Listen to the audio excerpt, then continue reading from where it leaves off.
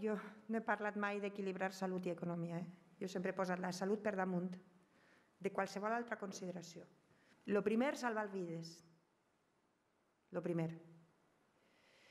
Perquè, entre altres coses, n'hi ha un consens científic en què si no salvem la salut no salvarem l'economia. I no només n'hi ha consensos científics al voltant d'això, sinó hi ha també experiències empíriques al voltant d'això. I és que aquells països que han controlat millor o amb mesures més restrictives la salut, després han tingut una projecció econòmica molt millor. El perimetratge, el tancament perimetral de la comunitat valenciana és de dilluns a diumenge, fins al 12 d'abril, perquè el virus no distingeix de si és diumenge o no. I se treballa tots els dies.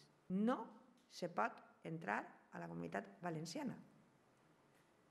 Però no de Madrid, de La Rioja tampoc, ni de Galícia, ni d'Extremadura, ni d'Andalusia, ni de ningú puesto. No estem per a una quarta. I sabem que el que funciona és restringir mobilitat i relacions socials. Això sí que ho hem, ho hem sabut perfectament. I ho hem demostrat.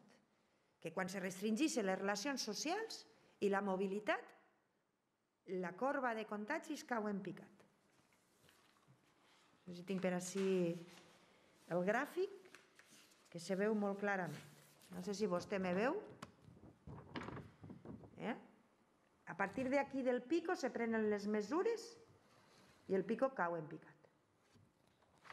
I, és, I això és el que sabem en aquest moment. Que n'hi haurà coses que no sabem del virus, segur, però que això sí que ho sabem, ho sabem. I no es tracta de tindre-li fòbia a ningú.